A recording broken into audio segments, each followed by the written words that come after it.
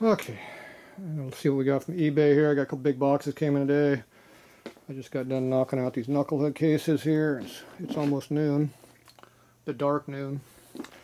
So I'm gonna see what's in here. I think I know what's in these big boxes, but a couple of big boxes here.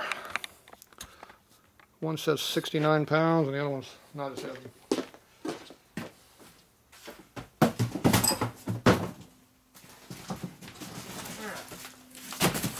The small one first.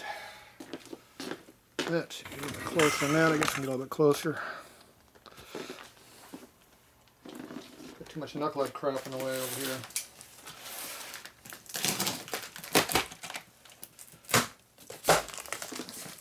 Well used box. Been used more than once.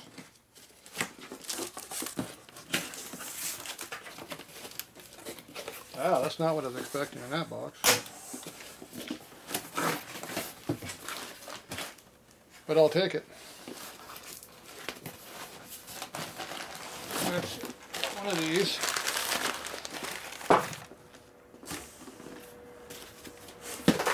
I got one of these.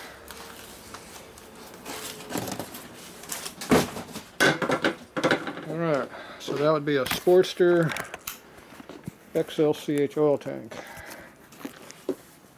Ah, 60s.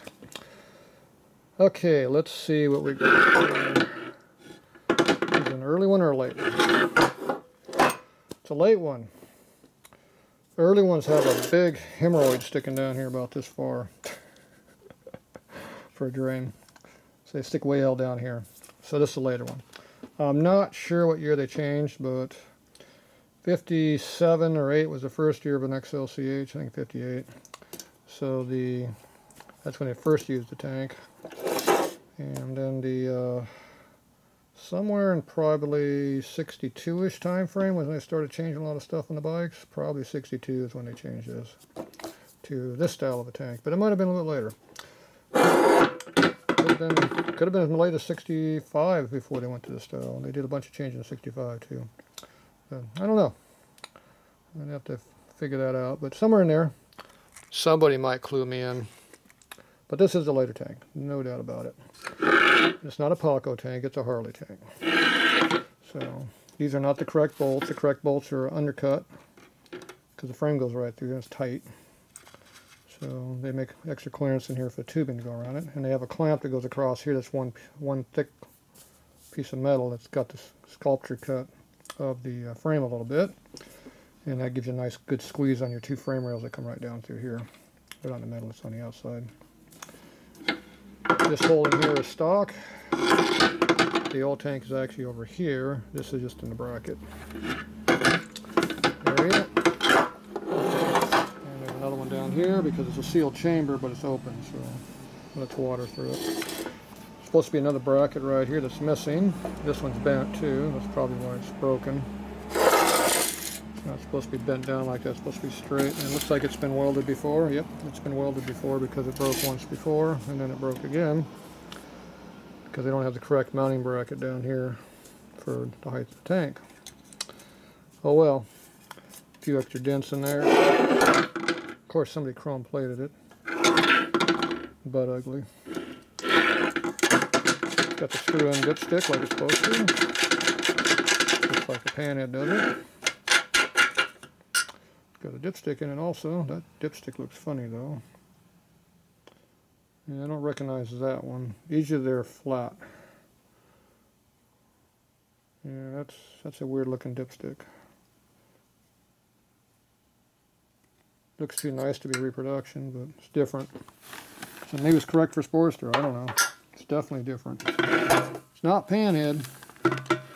Can't see in there too well what's inside the tank, but we have a cure for that. It's called light. Let there be light.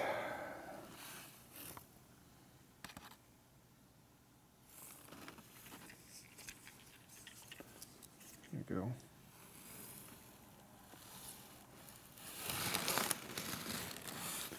Not too much shrapnel in there.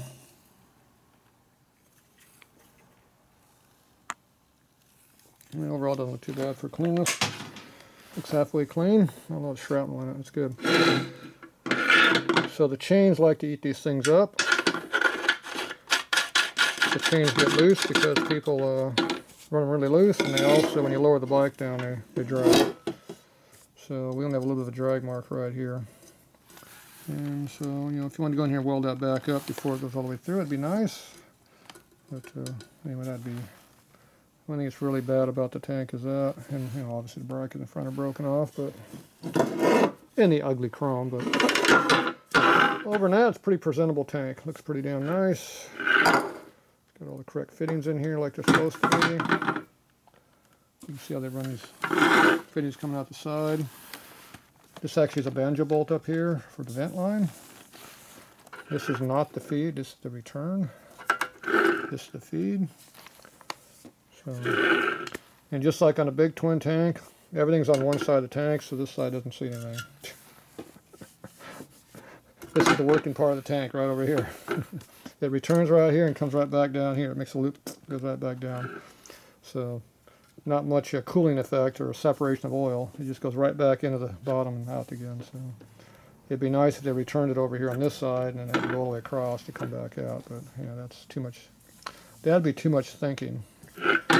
So, but anyway, that's how they did it. I don't know why they had these extra fittings, but they always did over here. But oh well. But yeah, it looks pretty good. Not a bad piece. I'm good with that. There you go. I'm going to call that, uh, they use that up through uh, 69 is the last year of an XLCH, so they use that tank through 69. So it's definitely a 65 to 69 tank, but it might be all the way back to 62. But I don't know. I'm sure somebody will let me know. Or I'll figure it out and post it in the, in the title. There you go.